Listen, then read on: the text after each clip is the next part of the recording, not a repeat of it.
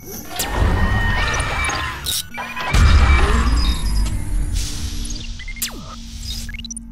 friends welcome to easy tail நிறைய பேர்த்துக்கு ஒரு டவுட் இருக்குது த்ரீ ஸ்டார் நான் இன்வெர்டர் வாங்கலாமா? த்ரீ ஸ்டார் இன்வெர்டர் வாங்கலாமா? அல்லது இன்வெர்டர் ஃபைவ் ஸ்டார் வாங்கலாமா?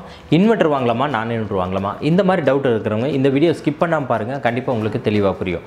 ஏசி வாங்குறதுல ரெண்டு விதமான பீப்புள் இருக்காங்க. ஒருத்தவங்க வந்து பார்த்திங்கன்னா எனக்கு கூலிங் பர்ஃபார்மன்ஸ் மட்டும் வேணும். அதே நேரத்தில் லாங் லைஃப் வரணும். ஸ்பேர் காஸ்ட் அந்த அளவுக்கு இருக்கக்கூடாது. மெயின்டெனன்ஸ் ரொம்ப கம்மியாக இருக்கணும். பவர் எனர்ஜி எஃபிஷியண்ட்டாக இருக்கணும். இவங்களுக்கு வந்து பார்த்திங்கன்னா one point five ton three star non inverter போதுமானதாக இருக்கும். செகண்ட் டைப் பீப்புள் எப்படி அப்படின்னா எனக்கு ஃபியூச்சர்ஸ் அதிகமாக இருக்கிற மாதிரி வேணும். அதாவது மொபைல் மூலமாக கண்ட்ரோல் பண்ணுற மாதிரி இருக்கணும். வைஃபை எனேபிள்டாக இருக்கணும். நான் எங்கிருந்து வேணாலும் அதை கண்ட்ரோல் பண்ணுற மாதிரி இருக்கணும். அது போக எனக்கு மெயின்டெனன்ஸ் செலவு பிரச்சனையே இல்லைப்பா. அதனுடைய ப்ரைஸும் பிரச்சனையே இல்லை.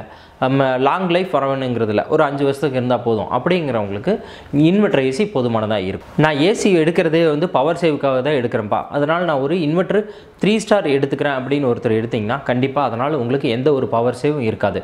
ஏன்னா ஒரு த்ரீ ஸ்டார் இன்வெர்ட்ரு ஏசியுமே ஒரு த்ரீ ஸ்டார் நான் இன்வெர்ட்ரு ஏசியும் ரெண்டு ஒரே அளவு தான் பவர் எடுத்துக்கும்.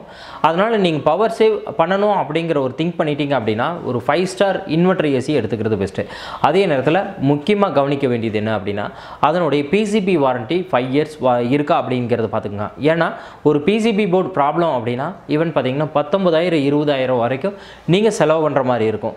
ஒரு வருஷம் வாரண்ட்டி அப்படின்னு சொல்லிட்டாங்கன்னா அடுத்த ஒரு வருஷம் பத்து நாள் ஒரு வாரம் ஆனால் கூட உங்களுக்கு கண்டிப்பாக அது வாரண்டியில் கிளைம் ஆகாது.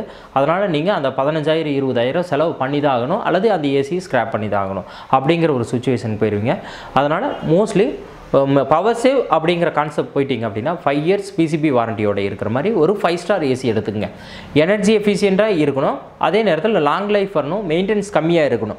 அப்படின்னீங்கன்னா ஒரு நான் இன்வெர்டர் த்ரீ ஸ்டார் எடுத்துக்கிறது பெஸ்ட்டாக இருக்கும். இந்த வீடியோ மூலமாக ஒரு ஏசி எடுக்கும்போது எந்த மாதிரி ஸ்டார் ரேட்டிங் வாங்கணும்? என்ன ஏசி எடுக்கணும்? அப்படிங்கிற ஒரு ஐடியா உங்களுக்கு கண்டிப்பாக தெரிஞ்சிருக்கும்னு நினைக்கிறேன். அப்படி இந்த வீடியோ உங்களுக்கு கண்டிப்பாக யூஸ்ஃபுல்லாக இருந்தது அப்படின்னா ஒரு லைக் பண்ணி உங்கள் ஃப்ரெண்ட்ஸ் நிறைய பேர்த்துக்கு ஷேர் பண்ணுங்கள் மறக்காமல் சேனலை சப்ஸ்கிரைப் பண்ணி பக்கத்தில் இருக்கிற பெல் பெல் பட்டன் அமுத்துங்க. அப்போ தான் நம்ம போடக்கூடிய ஒவ்வொரு வீடியோ உங்களுக்கு நோட்டிஃபிகேஷனாக வரும்.